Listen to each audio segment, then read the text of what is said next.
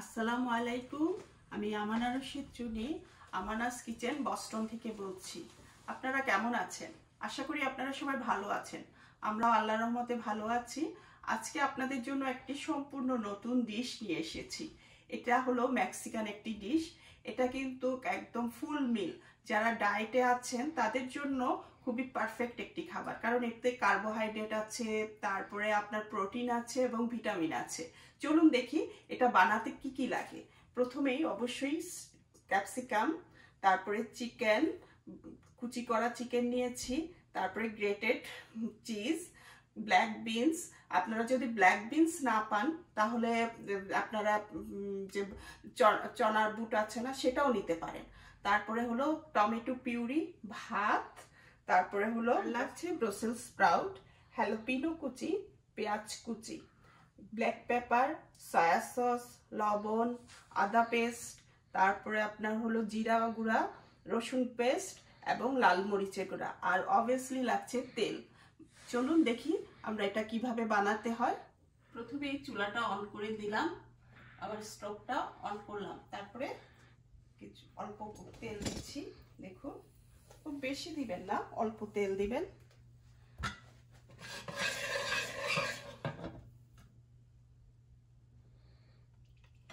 একটু লাগবে আমার তেল, অল্প তেল দিলাম। প্রথমে দিব পেঁয়াজটা দিয়ে দিচ্ছি।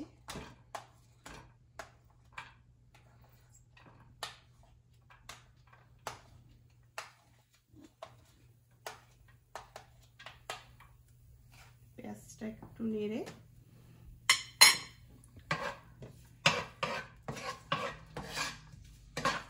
খুব একটা ভাজা ভাজা করবেন না, জাস্ট হালকা নেড়ে কিছুক্ষণ, তারপরে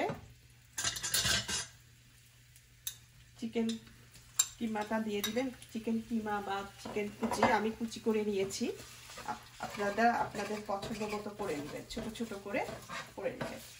আমি বুকের অংশ হাফ একটি চিকেনের হাফ বুকের অংশ নিয়েছি। তারপরে আমি দিচ্ছি একটু জিরার গুঁড়া, তারপরে একটু আদা পেস্ট অল্প অল্প দিবেন। তারপরে একটু রসুন পেস্ট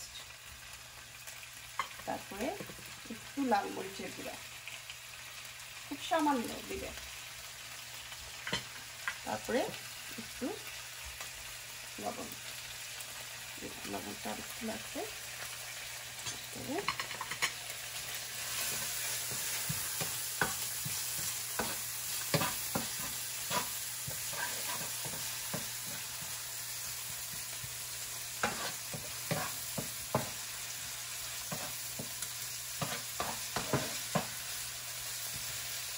তারপরে একটু সয়া দিচ্ছি।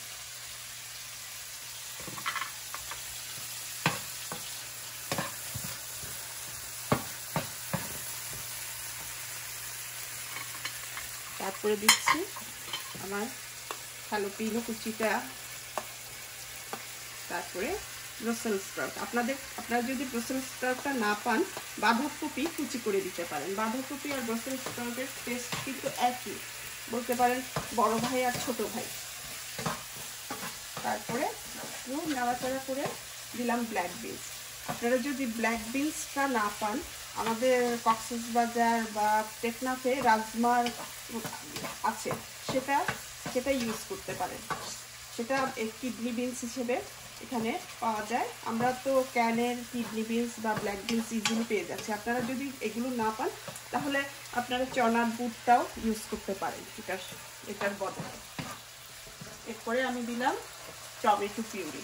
এটা একদম টমেটোকে সিদ্ধ করে পেস্ট করে দিবেন, পেস্ট করে ছেঁকে নেবেন। আর কোনো কিছু না, সাথে কোনো কিছু দিতে হবে না এটা। যে, এটা দিলাম এখন জাস্ট কতক্ষণ চিকেনটা তো বুকের চিকেনের বুকের অংশ খুব তাড়াতাড়ি সিদ্ধ হয়ে যায়।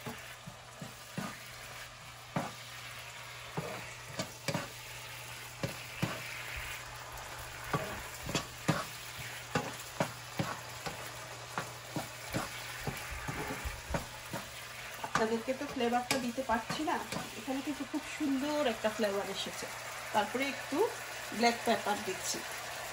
ব্ল্যাক পেপারটা আপনি একটু বেশি দিতেই চেষ্টা করবেন। ব্ল্যাক পেপারের এই খাবারটার সাথে ব্ল্যাক পেপারের ফ্লেভার এবং ব্ল্যাক পেপারের ঝাঁসটা ভালো লাগে।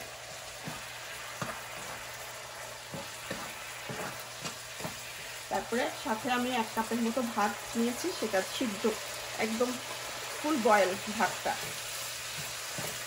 আপনি চাইলে আপনার রান্না করা ভাতটা দিয়ে দিতে পারেন। কিছু অংশ বেঁচে গেলে সেটা রেখে, আমরা সবারই তো আমরা ফ্রিজে রেখে দিই, সেটা দিয়েও করে ফেলতে পারবেন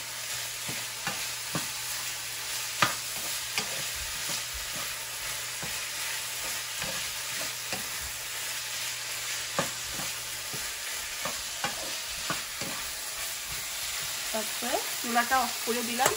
চুলাটা অফ করে তারপরে একটু চিনি দিলাম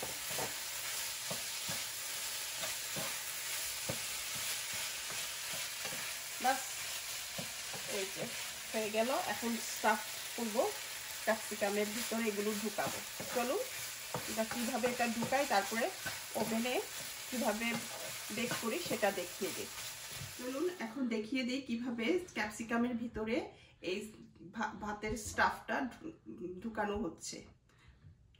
আমি আগে থেকেই ক্যাপসিকাম হাফ করে রেখেছি। দেখুন, এভাবে আপনারা দিবেন। একদম ঠেসে ঠেসে ভাতটা দিবেন। এই যে পুরটা বানিয়েছি, সেটা একদম ঠেসে ঠেসে দিবেন।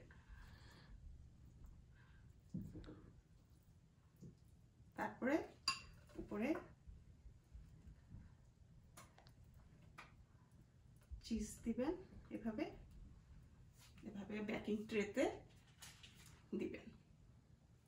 আমি আরেকটা করে দেখাচ্ছি আপনাদের সুবিধার জন্য। দেখুন, এই যে, এভাবে ভাতটা দিলাম।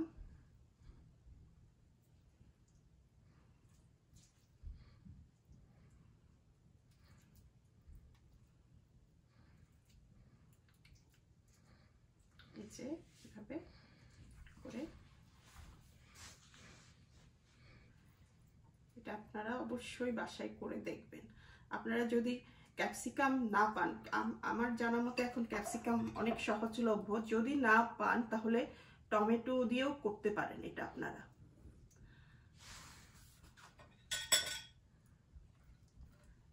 এটা করে দেখবেন, খুবই টেস্ট এখন ক্যাপসিকাম রেডি হয়ে গেছে, এখন এটা ওভেনে যাবে। আমি অলরেডি ফোর হান্ড্রেড মধ্যে ফোর হান্ড্রেডের মধ্যে দিয়ে রেখেছি ওভেন।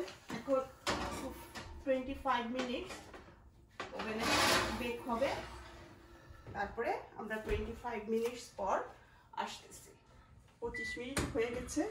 এখন দেখুন, বের করছি আমার স্টাফ ক্যাপসিকাম।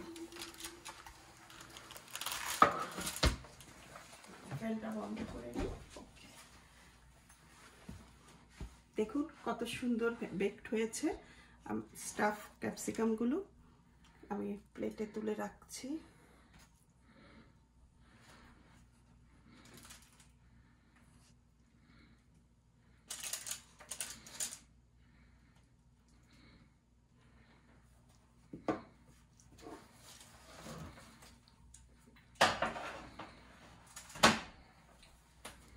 এই যে আমার হয়ে গেল স্টাফ ক্যাপসিকাম, এটি একটি মেক্সিকান ট্র্যাডিশনাল ফুড। ওরা ওদের বিভিন্ন উৎসবে এই খাবারটা পরিবেশন করে থাকে। আপনারা বাসায় সবাই এটাকে ট্রাই করবেন, খুবই একটি মজাদার খাবার। আপনারা সবাই ভালো থাকবেন, সুস্থ থাকবেন এবং আমার চ্যানেলকে সাবস্ক্রাইব করবেন কমেন্টস করবেন শেয়ার করবেন এবং লাইক দিয়ে আমার সাথে থাকবেন। সবাই ভালো থাকবেন, আল্লাহ হাফেজ।